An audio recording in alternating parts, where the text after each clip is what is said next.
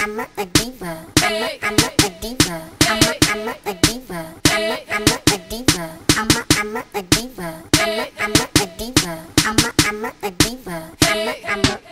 Na na na diva is a female version of a hustler,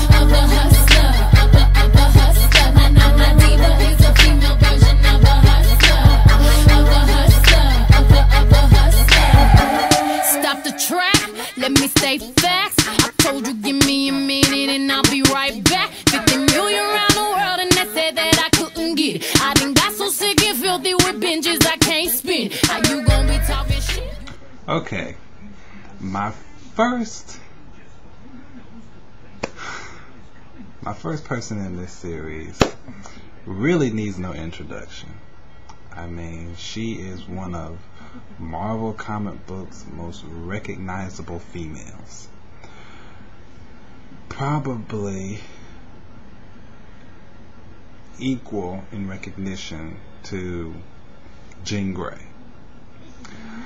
the woman has gone through many different uh, transformations throughout her career. Um, from her humble beginnings as an orphan thief in Egypt to being a mutant like goddess to being a formidable member of probably one of the greatest superhero groups in comic book history to now being queen. Well, the person I'm talking about is none other than Ororo Munroe T'Challa, aka Storm. Now, the character Storm has been featured in X Men, um, I guess, for over 30 years now.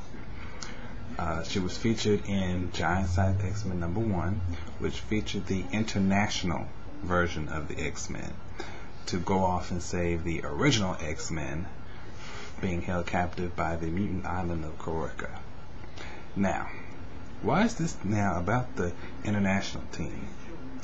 If anyone has read Deadly Genesis, they come to find out that the team that Storm was on was not the first team that went after the original X-Men. But there was another team before them that Professor Xavier secretly and quickly trained. One of the members featured Cyclops' and Havoc's younger brother, Vulcan. Unfortunately, they were not that ready for Krakoa and wound up being trapped on the island.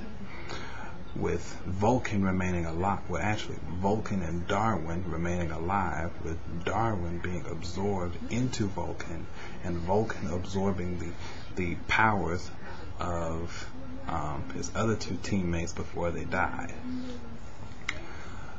Um, when Professor Xavier rescued Cyclops, he erased his mind of the whole situation. Which, when it was finally revealed, Cyclops was so mad at Xavier that he kicked Xavier out of his own institution. But enough about that. Let's go back to Storm. So ever since you know she's been a part of the X Men, she has been one of the key figures in the whole entire X Men community. Going through different costume changes in the 80s, with her having the whole punk rock attire with the mohawk. Then to in the 90s, you know, with the whole gray X Men uniform, which coming back to her sort of like her original 1970s outfit. Now, Storm, for those of you who do know, has the ability to control the weather. She can control all forms of weather, from uh, a mere rainstorm to a flash flood. She can do it all.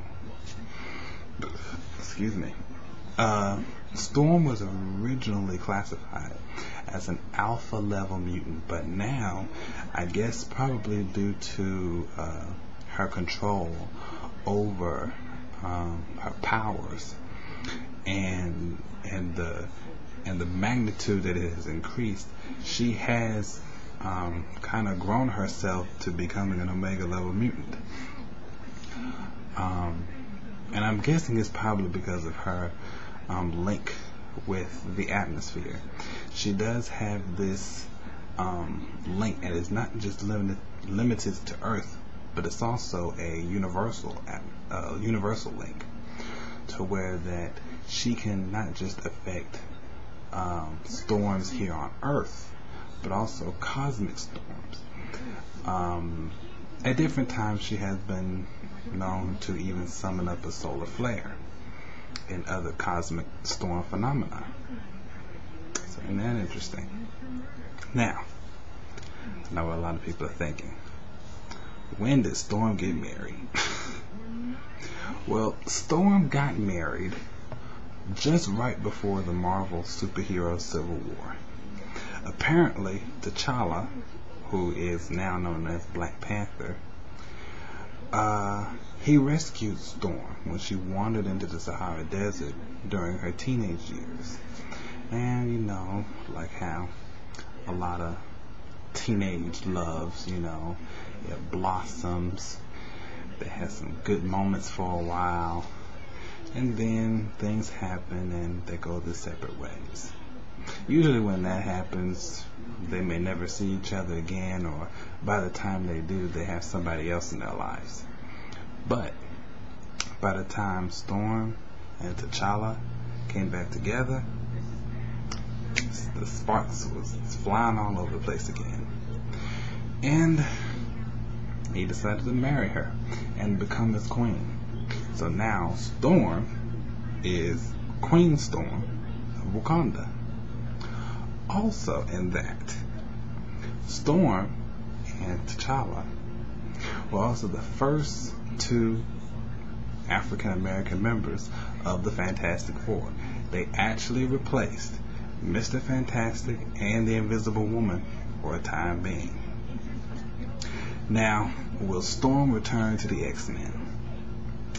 I don't know. According to the comic books, she's still watching over her husband, uh, with her husband in Wakanda, so who knows? I mean, I would like to see Storm come back and even take on some of the dark X-Men members.